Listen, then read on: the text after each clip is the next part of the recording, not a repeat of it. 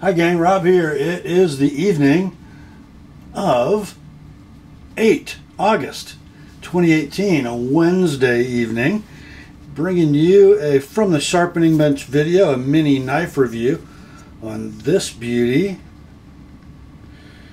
from Koenig Knives. And I'm sorry, Bill, uh, proprietor of Koenig Knives, I think I have butchered your last name six ways from Sunday. Think I've called the company Koenig, Koenig, and I have it on good authority. The correct pronunciation is Koenig, K O E N I G. Let's uh, come in close on that maker's mark. There it is. The uh, knife we're looking at today is a relatively new offering from Koenig. This, the Arius, A R I U S a more conventional knife than the first one that I saw from Koenig, not the first knife that they made, but the one that got them the the buzz, I think 2016 maybe right after they opened. The knife was called the Zenaida, Z E N A I D A, and it was a compact 3-inch class modern folder that had fastenerless construction or screwless construction. Very innovative. And I believe it won Blade Show Most Innovative Knife of the Year in 2016. Um, it was a pretty credible first effort, I thought, although a little odd and a little pricey. this knife, the Arius, much more in step with the groupthink of the modern folder industry in 2018. Let's go over the construction. We have a flipper on ball bearings, but not just any ball bearings. These are caged ceramic ball bearings. Also a ceramic ball bearing detent in this knife. Some nice uh, black oxided or PVD coated hardware a titanium frame lock, bead blasted finish, some interesting milling tool marks in the relief cut for the lock bar if I can focus on those. There you go.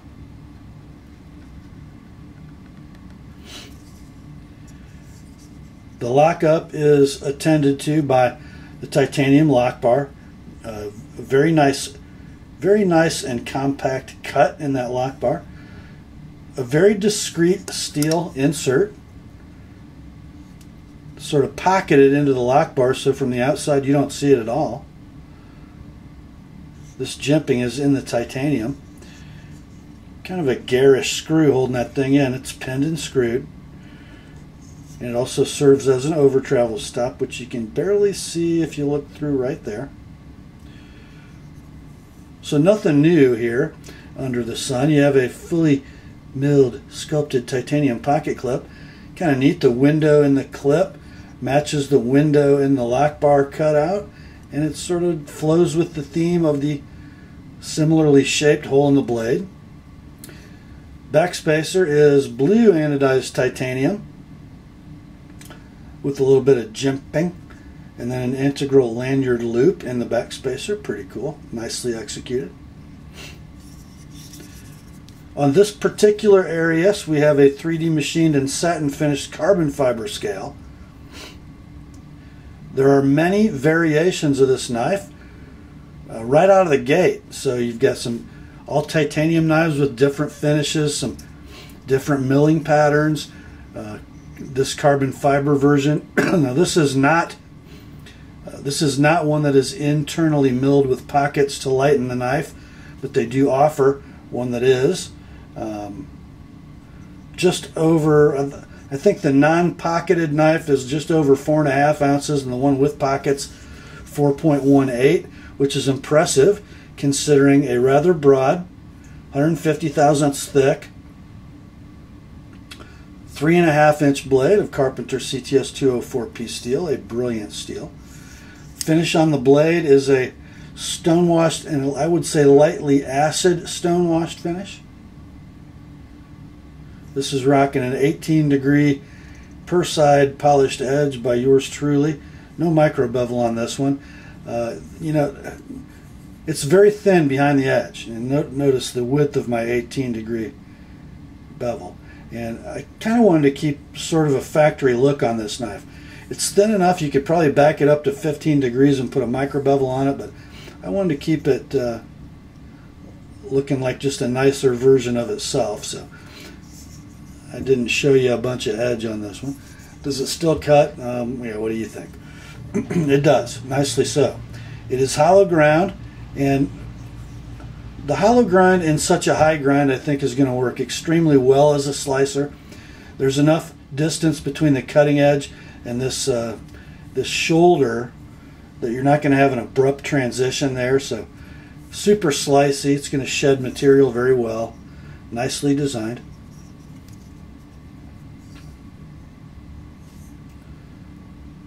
I suppose we would call this a harpoon drop point. No real clip, but we do have a little rise in this thumb ramp that resembles a harpoon.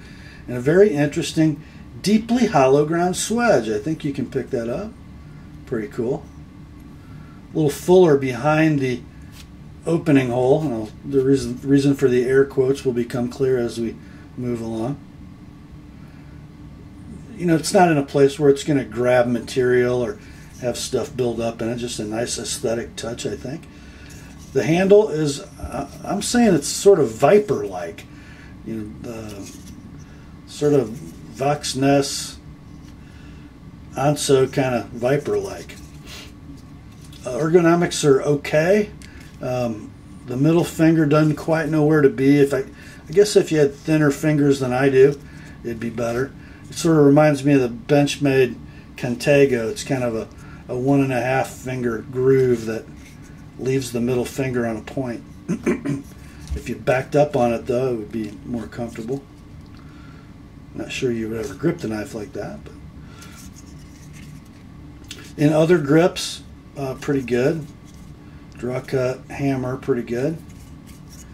Reverse grip, not so good the uh, backspacer slash lanyard loop we're going to make an extremely hot spot on your thumb if you wrap it in that fashion. I guess you could hammer grip or reverse grip it like that with plenty of security. but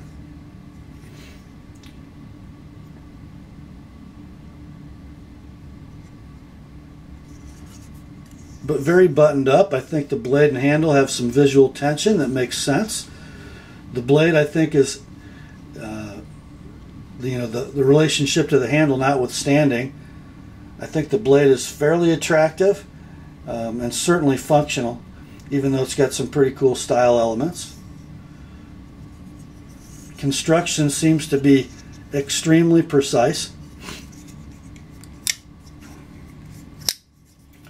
There is your blade centering, which is perfect. Flipping action is really good. Let's see with some fingers on the lock bar how do we do. Death lock. Death lock with fingers on the lock bar. And a related issue, if you're right-handed and you hold the knife in a natural way and try to use that opening hole, you're pressing against your fingers again on the lock bar. Uh, a lefty like me can open it just fine. And can flip it without worry if I rest my thumb up here on the frame. You know, this is a, a casualty of modern knife think. We have to have a strong detent. So our flipping action is awesome. Well, you know, we, we used to have knives we could get out pretty fast without half the detent ball exposed into a hole in the blade that causes it to lock itself shut if you're putting any pressure on that detent ball whatsoever. A lot of ZTs suffer from that. Um, frankly, WE Knives seems to avoid it most of the time. It's just not a good thing. You know, if if we were actually using this modern tactical folder in a tactical application, like we were in a knife fight, maybe our gun jammed, and we grabbed it with lots of adrenaline and a strong grip and used the flipper, it ain't coming open. Just ain't coming open, so then we have a Kubotan. Uh, we don't have a knife. But for the tactical couch uh, for the tactical tactical couch operator this is perfect you know, if you really pay attention and you get some good muscle memory going while you're flipping it, watching Sons of Anarchy on the couch, it works just fine. Sorry for the sarcasm. It's just, uh, you know, I, now and then I have these little axes to grind. That's one of them. No need for that detent to be like that. Uh, especially when you consider how free and smooth the action of this knife is. It would flip just fine with a detent done correctly. And this is not correctly. Okay? Uh, you could still make a nice firm detent without it burying itself in the blade to the equator and locking itself closed. Um, so that's one bone to pick I have, and we'll get to the other one uh, now. Uh, construction, although precise, the parts seem to be machined very precisely. Um, construction is not, uh, does not benefit from engineering wisdom. Uh, there's one locator on this knife, and it's the pivot. What I mean by a locator, what orients the two sides of the handle in this direction. There are no locating pins in this backspacer. The backspacer is threaded to accept four screws. Um, and I've talked about this before. If you're a tool maker and you're making a fixture, you know that screws hold components together, pins precisely machined, in holes precisely machined, orient things this way. Screws hold things together, locating pins orient parts. Um, you know, how you know how does the Sebenza do that? It does it with essentially pivot barrels through all three fastening locations.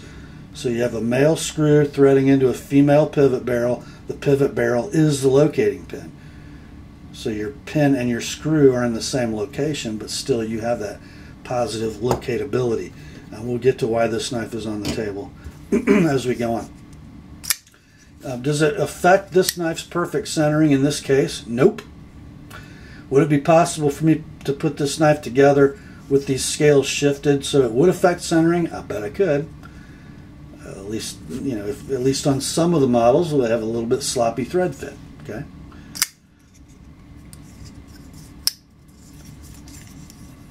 Um, but overall, a very credibly executed knife. You know, I mentioned the Viper products.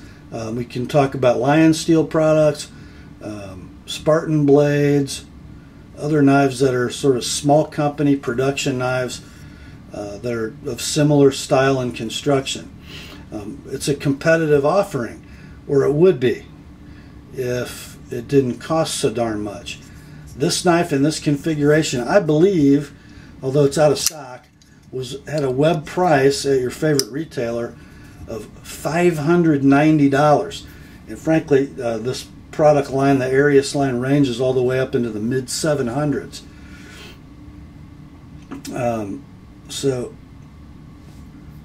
how is that competitive with even the uh, uh, the giant mouse knives made by Viper, the most expensive low volume Vipers there are? Those knives are in the you know three to four hundred dollar range. This one, five ninety. 590 now you know there are other knives aren't there? Production knives which are priced let's say more than the sum of their parts. Here's one. It's the oldie and the goodie right? This is a plain jane base model Sebenza. large variety. First one I ever bought. It is six years old and still works like the day it was brand new and it's made by a company that's uh, just about 30 years old, into its second generation of ownership and operation, going strong in Boise, Idaho. This knife, a pattern they've been making for goodness gracious over a decade, the large Sebenza 21, and Sebenzas as a whole for over 25 years. The company is set up to be able to service this knife forever. Uh, warranty issues are handled promptly and easily. And they also do paid service on these knives for what is it, 35, 40 bucks. I can send this knife in with all of its battle scars and wear and snail trails and stuff. Even even if I had my blade scratched up, they'd re-stonewash that for me and uh, send it back to me looking like a brand new Sebenza. They'll do that forever, and they have a 30-year track record that says that's a credible policy. Right? They're going to be around. Uh, this knife, as they've been for a long time, I think 415 bucks for a basic clip point, all titanium Sebenza. Let's say you take this same knife, throw a carbon fiber scale on it, as Chris Reeve has done. I think in collaboration with a Knife Art exclusive. So you've got something very similar to this, albeit without ball bearings. Um, that knife, the carbon fiber Sebenza, is, is 485. This knife with titanium on both sides and no extra goodies is 490 and as configured 590 so clearly and you could make the case that you know a 50 or 75 bucks of that could be a ball bearing pivot and a flipper. But what are you really buying? You know why does this knife cost twice what a similar Spyderco would cost? Built pretty much the same way without a bushing pivot of course. Because of what you get the lifestyle that you get the service that you get from that company on this knife as long as you and your son will own it. Okay. Can Koenig knives compete in that arena of value? I don't know. It's a two-year-old company. So, where does the value come from? I guess would be my question for Koenig knives. It's not significantly different or better than other modern folders that are similarly equipped. It's a CNC made production knife. There goes that Deathlock again. And it's credible. It's a $300 knife, maybe 350. It is not a $590 knife. Um, but here's here we have one of these situations. Reference a video I made some years ago about young or new makers with great promise and how we support them. I'll put a link to that video in the description. I actually featured a guy in that video who, let's say, hasn't lived up to the support we've given him, but that's neither here nor there. Bill Koenig, a guy in his what mid 20s, um, who has has really shown great promise, makes a great product. Um, his design, his design eye, I think, is evolving nicely. Seems to be a great guy who has visions of operating a great company. You know, if he needs $590 a knife in order to build that business, and we as knife collectors, consumers, users, if we perceive this guy to be a worthy investment, is this something we should buy? I say yes. On paper, with all things considered, is it objectively worth 590 bucks? No way. But should we pay 590 for it if we like it and we want to see him succeed? Absolutely we should. Because this young man is absolutely rocking it. By the way, this fully milled sculpted pocket clip goes in and out of the pants slickly and retains well. How about that? You don't see that every day. Just an adequate amount of tension, but not overly tensioned, and we have enough ramp in the end of that clip to get over the top seam of your pocket um, without protruding in a way that's going to snag on stuff. It's just really well done. And by the way, a D-shaped pivot. So as it flips open and smacks against the stop pin, it's not going to come loose. It's not going to turn in the handle. You can precisely tension it, only worrying about the male pivot screw. Beautifully done, beautifully done. So on balance, is the Arius a good knife? Heck yeah, it's a good knife. By the way, if you read Bill's bio on his website, he spent a time spent a lot of time at a local knife company in Boise, Idaho. Yes, he did. Plying his trade. I don't know what that company was. I really don't. Um, but it sure seems as though he might have learned from the he might have learned from a really persnickety master. I don't know. I haven't talked with him. I don't know that story. But the Arius, a pretty cool knife. Glad to see it on the market. Support Koenig knives, I say. That's all for this one. Grace to you and peace, my friends, from God our Father and the Lord Jesus Christ. And remember the word and this Koenig Arius are sharp.